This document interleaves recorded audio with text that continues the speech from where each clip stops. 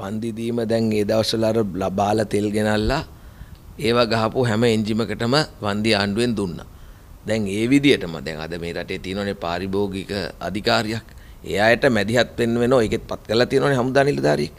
අන්න දැන් ඇවිල්ලා ඒ සහන ජනතාවට ලබා දී යුතු. හැබැයි සහන ලබා දෙන්න මේක පත් වුණාට පස්සේ සහන ලබා දෙන්න ඒක නෙමෙයිනේ කරන්න ඕන. හැමදේම කරන්න කලින් හිතපො නැතුයි ප්‍රශ්නේ තමයි මේ ආණ්ඩුවේ ප්‍රධාන ප්‍රශ්නේ. කාබනික පෝර හිතපු ගමන් දුන්නා තීන්දුව ගත්තට පස්සේ කමිටුපත් කරේ. දැන් මේ ගෑස් එක ගෑස් එක හිටපු ගමන් සයිස් එක අඩු කරා. දැන් අපිට තේරෙන විදියට මම මේක විශේෂඥයෙක් නෙමෙයි ප්‍රොපේන් බියුටේන් සංයුතිය යම් වෙනසක් කරලා තියෙනවා කියන සැකය තමයි පොඩි ළමයාත් අද කතා කරන්නේ. ඉතින් මේ වගේ යම් වෙනසක් කරන්න හදනකොට මේ රටේ උගත්තු බුද්ධිමත්තු ඒ ක්ෂේත්‍රවල ඉන්නවනේ.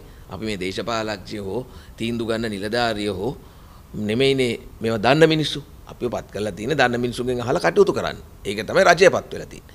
ඉතින් එහෙම නොකිරීමේ තවත් ඡන්ද ප්‍රතිඵලයක් හැටියට තමයි මේක අපිට කියන්න වෙන්නේ. ඒකින්ද මීට පස්සේ හරි මේ වගේ තීන්දුව ගන්නකොට රටේ ඉන්න ක්ෂේත්‍රයේ විශේෂඥයන්ගේ බුද්ධිමතුන්ගේ මහජන නියෝජිතයන්ගේ අදහස් අහලා තීන්දුව කරන්න කියන එක තමයි අපිට කියන්න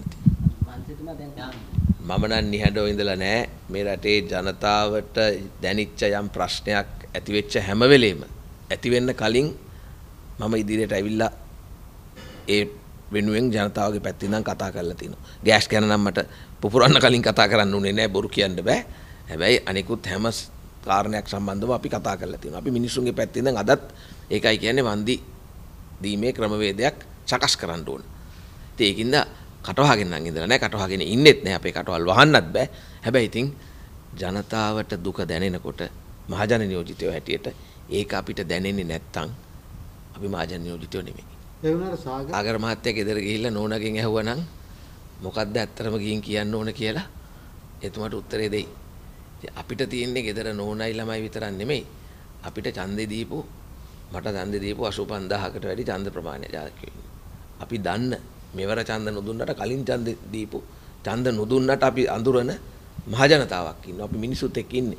ඉතින් ඒතකොට මිනිස්සුන්ගේ නියෝජිතයෝ අපි. අපි ජාතික ලයිස්ට් වෙන්නේ පත් වෙලා තියෙන්නේ. ඒතකොට අපේ මිනිස්සුන්ට හැඟෙන දේ අපට කියන්න බැරි නම් ඒක ප්‍රජාතන්ත්‍රවාදයේද කියන එක තමයි අපට අහන්න තියෙන්නේ.